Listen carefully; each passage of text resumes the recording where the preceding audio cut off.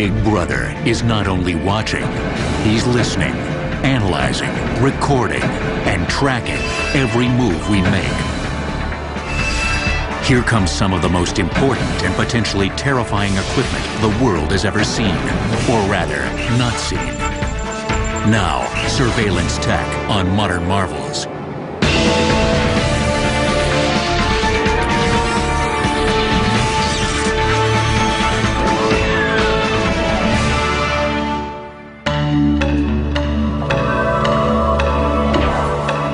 Surveillance in the 21st century is everywhere, expanding our senses, allowing us to see and hear things far beyond what our eyes and ears could do on their own. With advanced surveillance technology, there's virtually no place to hide. Even when we think we're alone, we usually aren't. And when we want to hear what others don't want us to hear, there's a plethora of devices to capture their every word.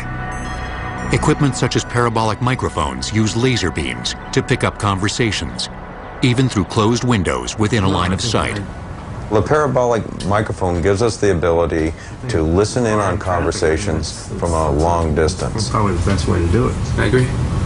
And that works basically similar to how a magnifying glass works. You take a magnifying glass, you hold it in the sun, it focuses the light on a particular place. Well, this is what you do essentially with a parabolic microphone. It gathers sound, focuses it with a large round dish into a certain place, and then that place receives the information with a microphone, amplifies it, and gives you the information you want from a huge distance. With a parabolic microphone, the window acts as a microphone. The laser beam latches onto the window's vibrations. When the beam bounces back to the receiver, it carries the vibrations with it, delivering the audible sound inside the room. Although parabolic microphones are very effective, sound conditions also play a big part in audio surveillance. One technique, called inverse phasing, cancels out unwanted noise from recordings. Actually, you see a lot of that today, which is you have the noise canceling headphones. We actually look at your, your headphones. There's actually a small little microphone, little perforated holes that are actually picking up the signal from the outside, using that to make an inverse signal on the inside of the headphones to cancel out that signal inside the headphone. An inverse signal is information that is transmitted by means of a modulated current and acts to cancel out another modulated current. In other words, as one piece of audio information is being sent, a second one is created to eliminate it. With headphones, the outside noise creates the inverse signal. We put those on an airplane, and what it does is it tries to listen to the noise on the outside of the airplane it tries to then create a signal on the inside of the headphone that actually will cancel the noise that it hears on the outside of the headphone. Inverse phasing is used in audio surveillance when someone is trying to secretly record a conversation in a location that might have a lot of competing sound. Let's say you're in a hotel room and you want to actually get rid of all those signals you don't want to hear. If you actually then know that they're going to play TV channel 4 and you have that signal, then what you can do is cancel out the signal of the TV that they picked up on the microphone, and hopefully what would be left would be just the voices of the bad guys. Right. Over 14. Right. We meet Frank. Frank takes the package. Right. Cell phones are another tool used for audio surveillance.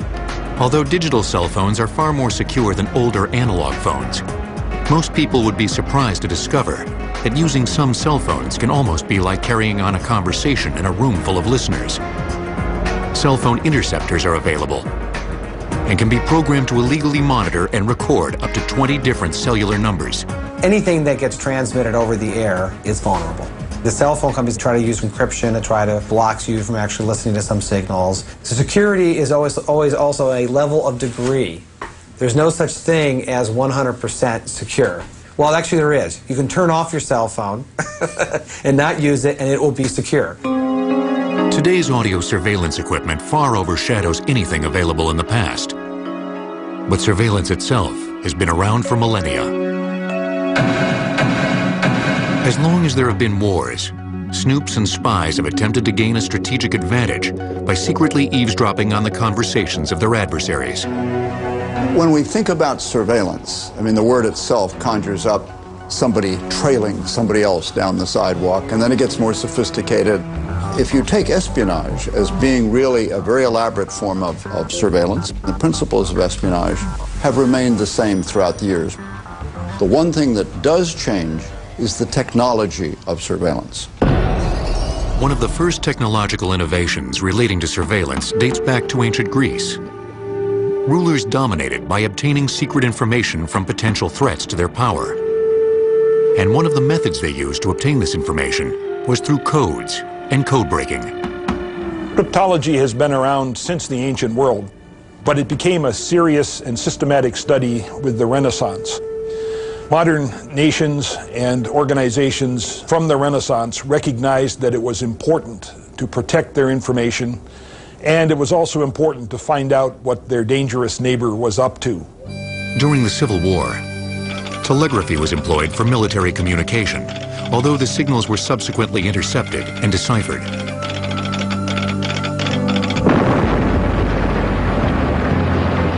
In World War I, information transmitted through a sound current, also known as signals intelligence, attained a much greater importance than in any prior war.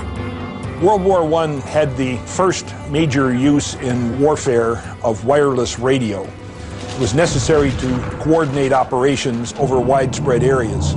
But of course, radio is easy to intercept, so all sides got the recognition that it was necessary to use sophisticated code or cipher systems to protect their radio communications.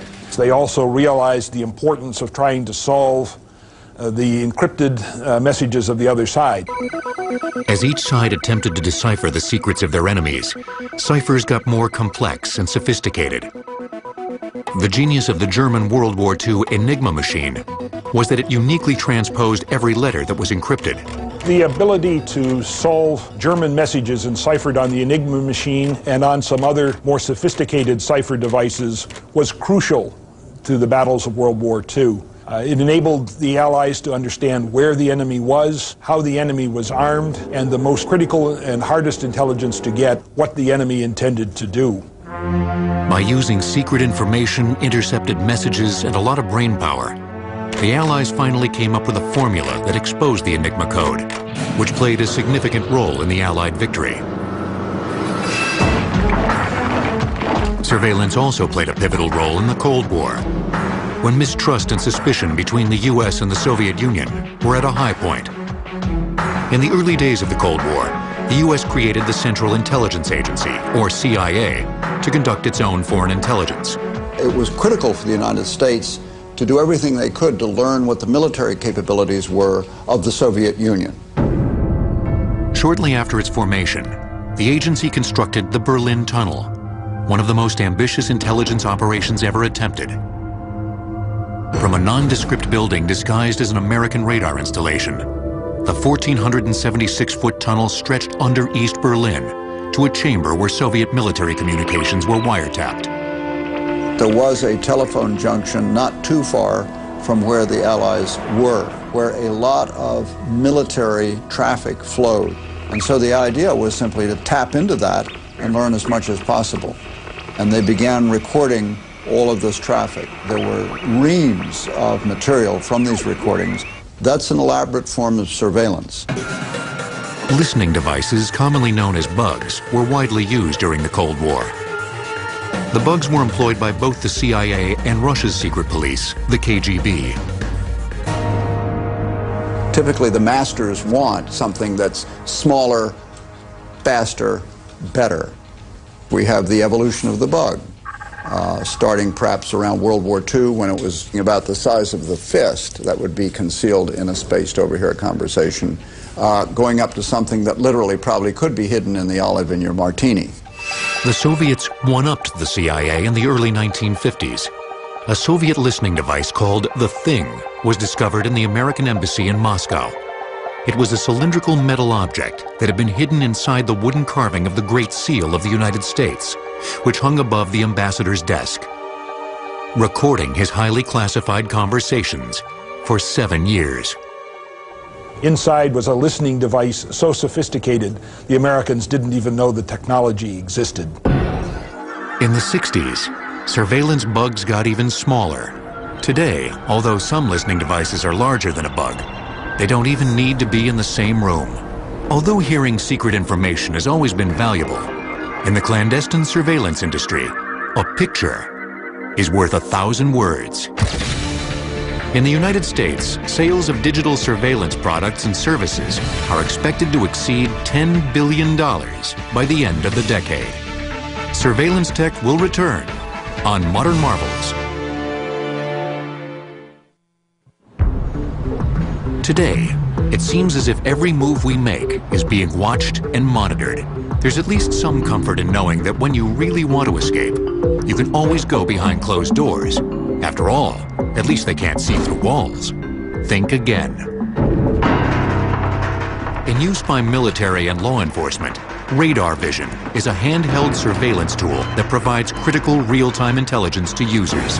By placing the unit up to a wall, Radar Vision shows you if someone is actually inside. It's an effective surveillance tool in that it gives you real-time information intelligence where you're there on the scene that you can respond to and apply to immediately, which is critical in a high risk situation such as a hostage situation or a barricaded type situation. The lightweight device works by sending millions of ultra wideband pulses per second, creating a signal that can penetrate most common building materials. The moving target shows on the display as an orange glob that moves as the target moves. The glob may change intensity, size, and shape, but it accurately shows the target's position. If a subject's in a room and he's trying to hide from us, which is normal for a suspect to do, is crouch down, hide, be very quiet, the radar vision will still pick up the motion of his breathing. Radar vision's number one strength would be the safety that it provides officers. Anytime that you have a piece of equipment that can do the work for you where you don't have to expose officers to high risk situations. It's going to save lives in the long run. The ability to see through walls may be a state of the art surveillance tool. But when it comes to seeing things others don't want you to see, devices haven't always been so high tech. With the development of the lens and of binoculars and telescopes, then people are able to surveil or observe from a distance. And it made it easier and easier for them to be concealed.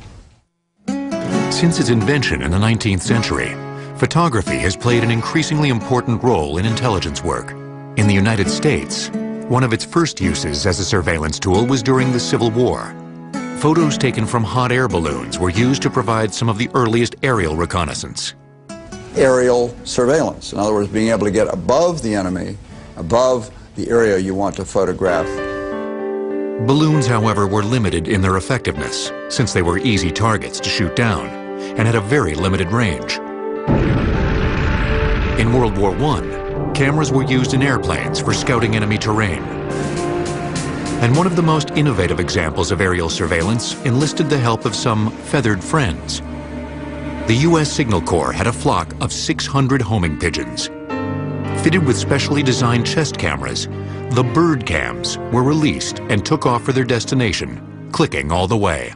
If you look at the little pigeon, he's standing there, has a little camera on his breast. Looks like an American tourist in Paris.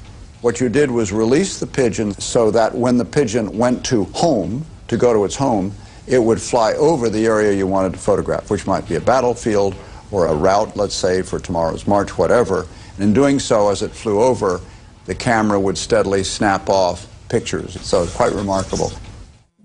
By the 1940s, cameras were hidden inside objects such as books, clocks, cigarette cases, and cigarette lighters. Of course, surveillance really came to the front during World War II. And uh, the famous Minox spy camera became quite well known at that time, and it's a very effective tool. It's extremely tiny, and it was specifically designed to copy documents. When you want to take a photograph of your document, you go into the viewfinder and fill the page. You then take this string here with different beads on it, and the beads tell you what focal length you need to adjust your lens for. During the Cold War, sub-miniature cameras with lenses small enough to hide behind a button were extremely effective at surreptitiously capturing images. The camera was typically worn on a harness under the overcoat. So if you were in a crowd, you're walking down the street, the overcoat would be buttoned. Literally, we're wearing a camera, and the shutter release was in a cable running through to your pocket. The Cold War also introduced the U-2 spy plane, which was instrumental in conducting high-altitude photographic reconnaissance. The covert aircraft was, at the time, out of range of the Soviet planes and missiles. These were planes that were able to fly at very high speeds at very high altitudes, uh, beyond the reach initially of Soviet missiles. And these planes were able to gather more in a single flight than we had been able to gather for years. During the space age, satellites opened up new surveillance opportunities. A camera on a satellite could carry out surveillance of any part of enemy territory that lay beneath its orbit. Essentially large telescopes, these cameras magnify the area they're focused on and can set their focal length accordingly. That great technological breakthrough of our times is the development of the synchronous orbiting satellite. And so these are satellites that remain in place and give continuous coverage of selected parts of the globe.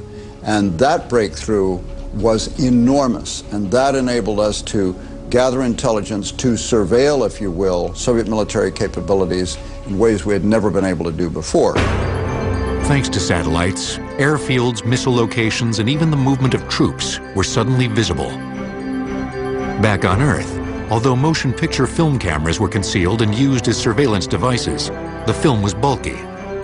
But the silicon chip, first developed in 1958, created a whole new world of miniature surveillance.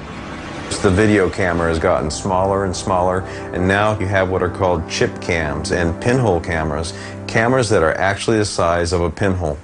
One example that we use is called the Fanny Cam. This pager actually has a minuscule camera lens inside of it, the size of a pinhole. It's located right here in the middle of the pager and it's actually recording video through that tiny hole. It's a tremendous boon to our ability to watch people and not have them know it. Night vision is a surveillance innovation that was first used in the military and is now available to both professionals and consumers. Night vision takes the scantest information that you see in the dark. The technology enhances the electrons that are actually an element of the picture.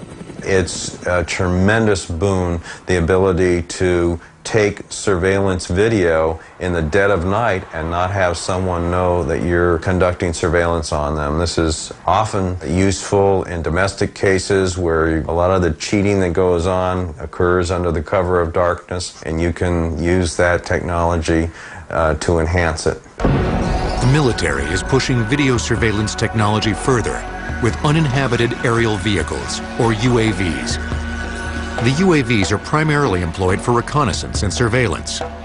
UAVs such as the Predator have the ability to travel thousands of miles to a target and obtain continuous images in real time using wireless technology or satellites. But when you're looking for a UAV with real user-friendly surveillance capabilities, smaller UAVs, such as the Shadow and the Raven, are designed to be used right on the battlefield. Equipped with cameras and microphones, they're capable of flying in and out of dangerous environments to obtain critical imagery and information. With a wingspan of only 48 inches and weighing just 4 pounds, the Raven may be the world's smallest operational UAV and also one of the most versatile. So let's check the video, give me something to look at. Front view is clear, side view is clear. Although the aircraft has sophisticated surveillance and computer technology aboard, the way it takes off is deliberately low-tech. You just throw it. Basically, it's a football or baseball style throw, and we've made it a very simplistic system that the soldier can use, and that's important because you're going to be using day, night ops, uh, any type of weather, and in a combat scenario. So we need to make it uh, as simple as possible and effective as possible. The Raven can fly as far out as 10 miles. By design, it was created with several automated functions to enable the soldier to focus primarily on the surveillance data received during the mission. I'm going to go ahead and just put this into a loiter mode. What makes loiter nice is that it's going to autonomously just keep the aircraft in that position, circling around about 100 meters around that point that we've picked right now. That allows me to spend time looking at the video now versus trying to fly the aircraft. The Raven's cameras are interchangeable for day and night use. Additionally, they provide multiple angles, we have what's called front view and side view. And right now what I've done is I flew out on front view. So I'm looking at essentially how I would drive. Like if I was in a car, I'd look straight ahead. And that's kind of what I was doing. But once we get over this loiter point, I click it over to side view. Now I'm looking at the side of the airplane, getting all the information I need. When it's time to bring the Raven home, it's as easy as the click of a button. It has the autonomy capabilities on board where I can push a command called home. And it's just going to remember where it was at when it first booted up and acquired the GPS satellites because it flies with four satellites on where it's, it's acquiring that information. And the aircraft just comes back. Small UAVs are revolutionary in nature. Never before has a company commander had the ability to have his own air asset uh, that provides him with streaming video and, and basically situational understanding of what's going on in the battlefield. Autoland has been selected. Mission complete. Surveillance on the battlefield is one thing, but little did we know, monitoring technology could and would soon infiltrate our everyday lives. In an effort to combat terrorism and crime, Chicago, Illinois was the first municipality in the U.S. to build a network of around-the-clock surveillance cameras throughout the city. Surveillance tech will return on Modern Marvels.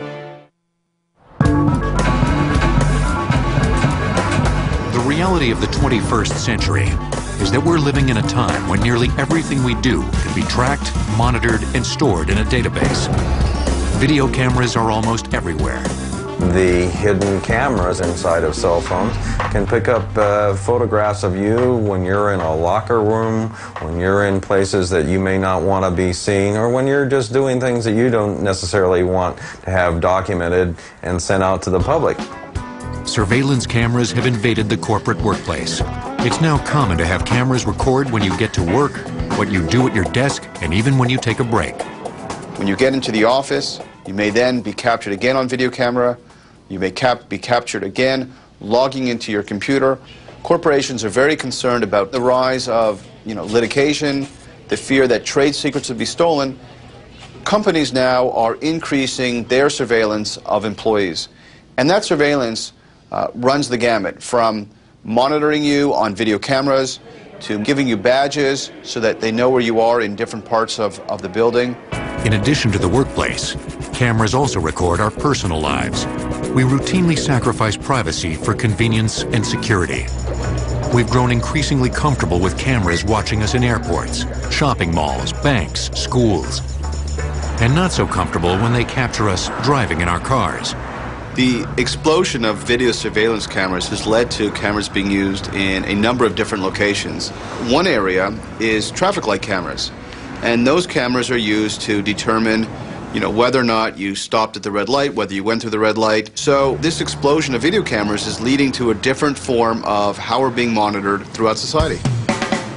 By 2004, traffic light cameras, also called red light cameras, had already been installed in over 60 communities in a dozen states across the country.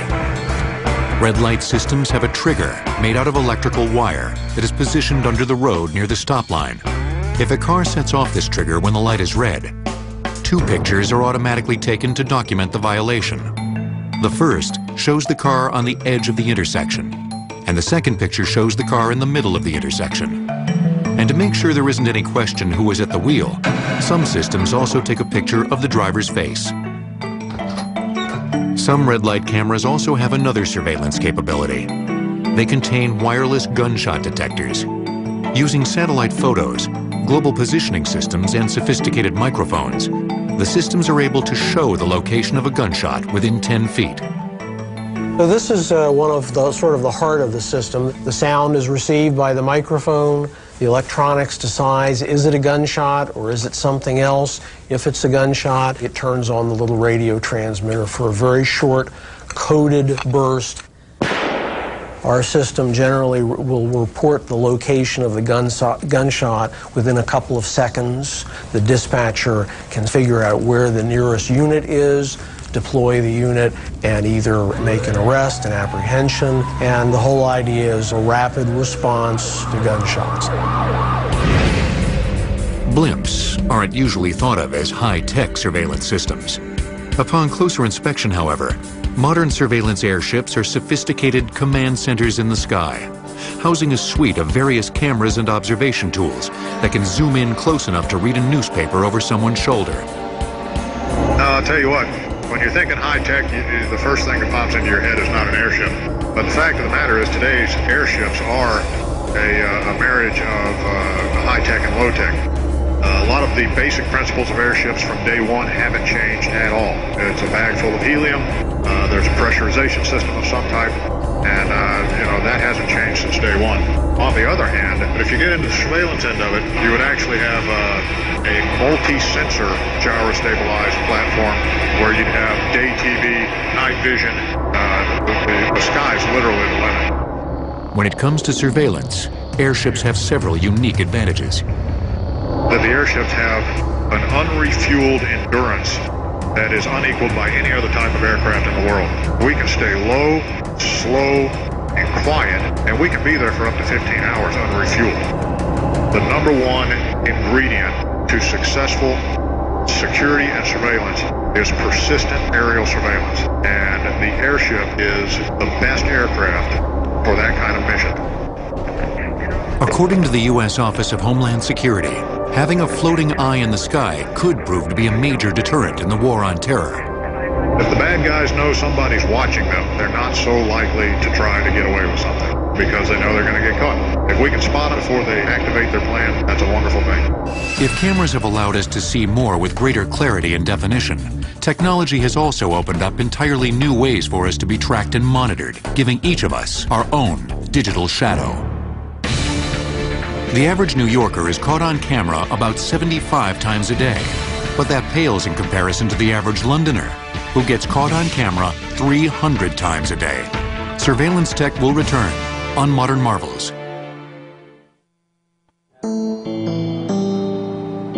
With computers home to the data of billions of bank accounts, credit card accounts, and hundreds of millions of medical claims, mortgages, and retirement funds, there exists an enormous amount of available data on each of us. Users are greatly empowered by computer technology, yet they are also more vulnerable to surveillance and manipulation.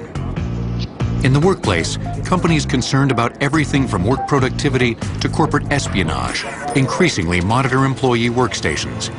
What employees often forget is that once you're using a computer and an internet service provided by the employer, that company owns not just the system, but they have the right to access all of that information. So today, employers use different devices such as spyware and keystroke logging so that employers can really see everything that you write everywhere you go on the computer. Beyond the corporate world, spyware in the hands of a hacker can present serious surveillance consequences. Gregory Evans, a former computer hacker, now runs a business to help educate others about the dangers of illegal computer surveillance. Spyware is nothing but surveillance software. You might be thinking, well, no one has access to my computer. You can receive this file or this um, spyware as a file in email, and you'll never know.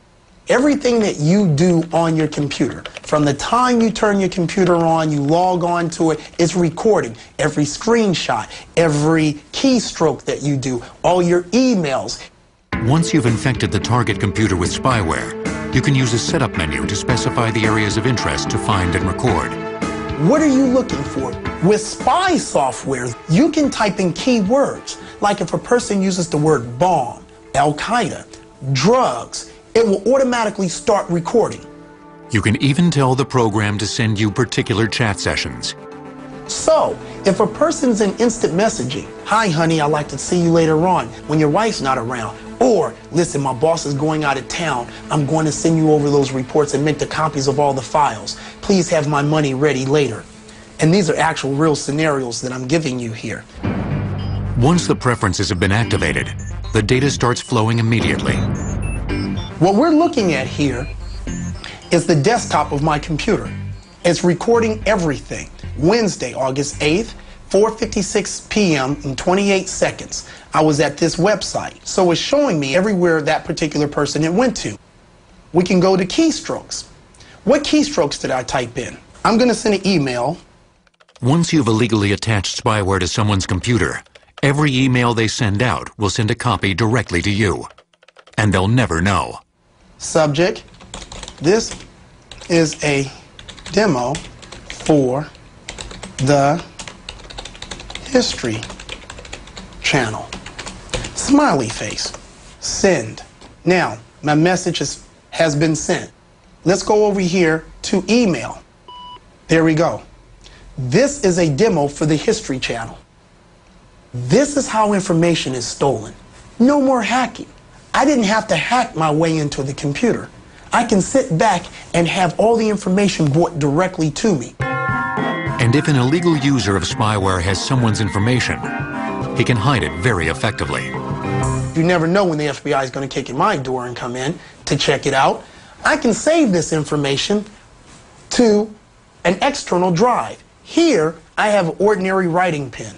Take the top off, I have a thumb drive. I plug this thumb drive into my computer. There. Now, I can save all that information externally. The watch, designer watch that I'm wearing, is really a hard drive, even though it tells time. I can plug a USB cable right into this watch and save 250 megabytes worth of information.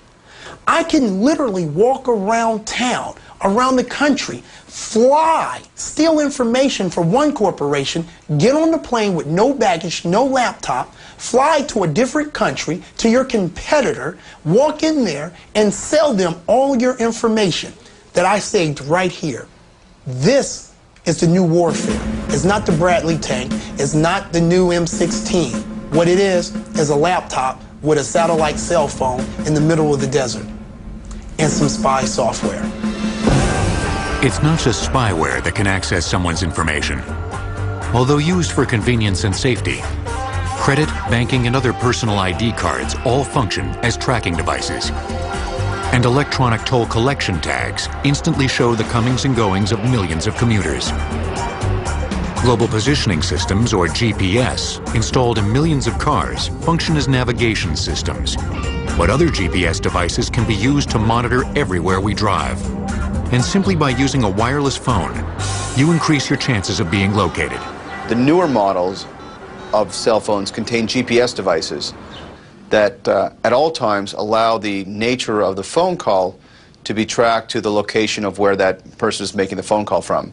There's been a lot of work going on to understand how do you actually now locate signals coming from your cell phone to know that if you dial E911, electronic 911, that you would actually know where these people are and be able to send an ambulance, fire trucks, or whatever to that location.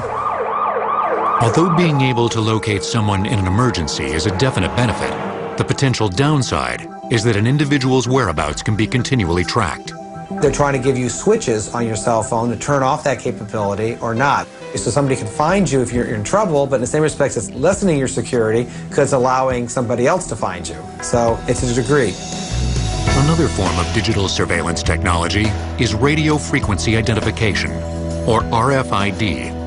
RFID chips are small as grains of rice and are poised to replace barcodes on packaged goods. They're tiny, they're cheap. Every product you buy will have them attached.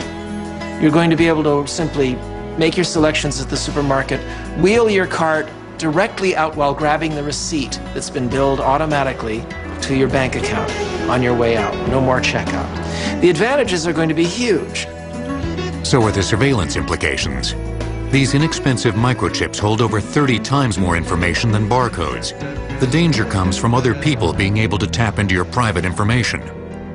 And as the technology improves, it's almost certain that it will become easier to read or scan the information. Which means if your clothing contains RFID transponders, people could find them. And you. How do you turn off the tag? So the question is, are there ways of actually destructively altering the tag or some way, shape, or form electronically so therefore it's not operational once it does the job it needs to do? A controversial innovation using RFID technology for surveillance is implants. Verichip is the world's first implantable microchip for human beings. The history of the chip really goes back about 15 years in the animal world. We've been using this product with companion pets, uh, dogs and cats, and also in livestock.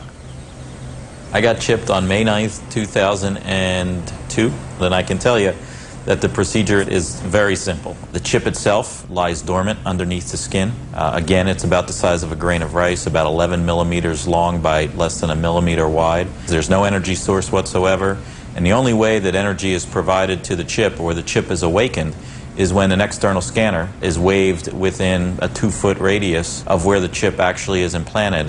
If I wave it over my arm, you'll see that it pulls up an identification number. That is my identification number. And through this serial port, can tie to the database on your computer or on a hospital emergency room's computer or on law enforcement's computer or whomever that says, my name is Scott Silverman, here's my address, and whatever information I desire to put on that database can be put onto them. The chips are primarily used for security and monitoring applications. In Mexico City, the Attorney General and much of his staff have been implanted with RFID microchips that allow them access to secure areas of their headquarters. Future applications of the implants could be to track and locate individuals who are lost or kidnapped. And the FDA has approved using implants to provide patients' medical histories. Whether you're conscious or not, they'll know who you are, where you came from, your up-to-date medical records, and your insurance information within milliseconds. There are people out there who claim that Verichip or any RFID technology is violative of your privacy or is Big Brother. And my answer to that is simple. Number one, it's elective. Number two, when it comes to privacy rights, we actually believe that Verichip enhances your privacy because it keeps your information tamper-proof and secure. Current surveillance technologies may be disturbing and frightening, but when it comes to the future of surveillance technology, it looks like we barely scratched the surface. In 2004, 9 out of 10 PCs connected to the internet were infected with spyware. Surveillance tech will return on Modern Marvels. Past, the problem with surveillance was that there wasn't enough information. Today, users are often inundated with too much. VizRT manages huge amounts of data and presents it in a way that provides greater situational awareness. It's all about organizing the data. With the ability to tie in 3D models, live video from surveillance cameras, and other surveillance information, users can immediately and effectively manage any large event or emergency situation. We provide tools that allows users to take in a wide variety of sources, transform them into a single interactive three-dimensional image, and make faster, better decisions. If we model a computer-generated image based on the visual context that the users are familiar with, could be the city, and project information on that, what we found is that they understand incoming information better and faster. The user not only can absorb the information, but the technology allows the system to be interactive. But rather than being aware that they're working with the environment, they become part of the environment, and this is where the virtual reality comes into play. The idea is to provide a system so that they can immediately understand what is the context, how to act upon it, and in a click of a button communicate that information to other users. In another emerging surveillance technology, experts believe that soon a vast array of intelligent cameras, or smart sensors, will be equipped with biometric face recognition software and connected to network databases that will instantly link us to personal information. The future is that these sensors get smarter. And so they help us so that one or two or three individuals can have available to them the type of information that they need to identify when problems are, are getting ready to happen well before we have a problem. We've all seen pictures from uh, convenience stores and banks that said, you know, if you've seen this individual who robbed this bank, please call in, and it can be anybody. Okay, so what this sensor does is it detects your head and shoulders as you move through the scene, automatically zooms in and takes a series of high resolution photographs of your face and, and, and shoulders as you go by. They work in picking up key distances and points on the face. So in this case, you can put multiple sensors around a facility, and then you have a very high resolution, quality picture of the people who have moved through your facility. Other sensors will not only alert us when suspicious activity exists, but can also take action. This sensor uh, is going to detect motion.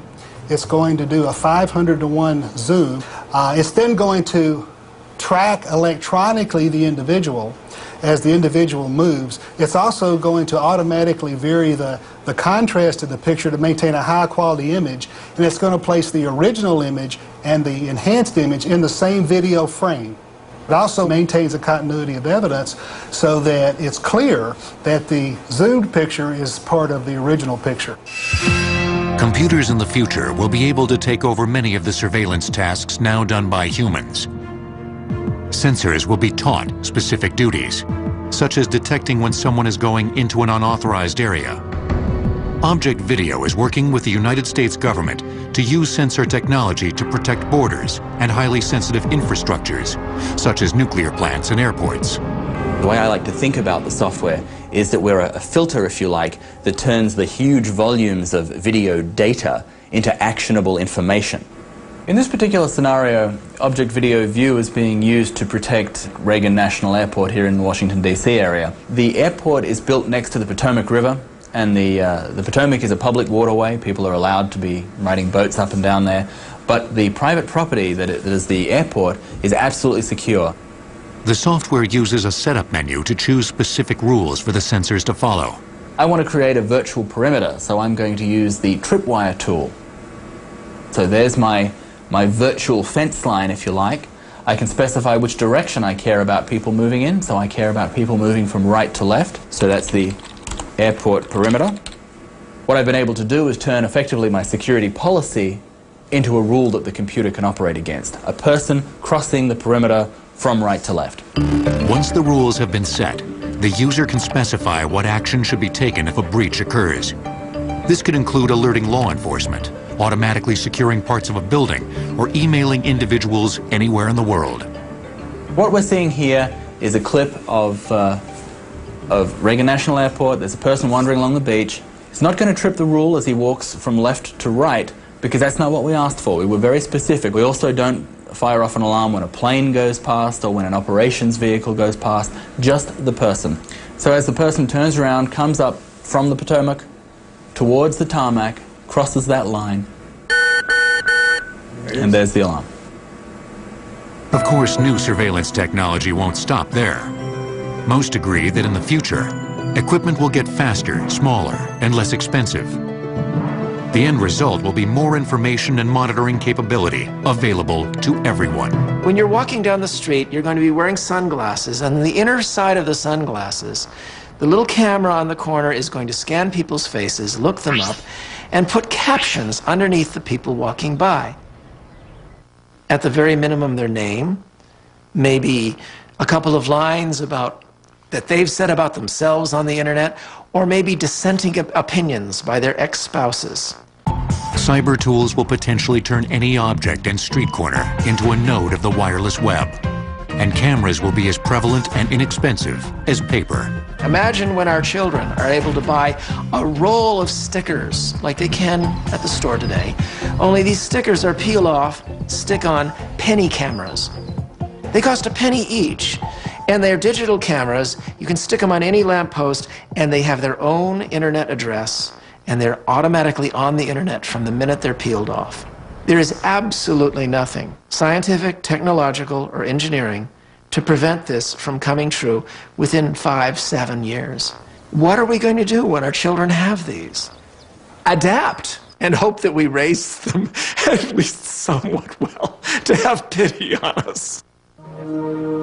As the technology becomes more powerful, we actually have more of a responsibility to use the technology in, in a meaningful and useful fashion. Now we're getting lenses that will be able to take you anywhere in the world. The upside wonders are spectacular. And yes, it's extremely dangerous. So what else is new? So we're able to gather an astonishing amount of detailed information on virtually anyone in the world. And in the future, we'll gather even more. Who uses this information, and more importantly, how they use it, will have a profound effect on our safety, our privacy, and perhaps our very existence.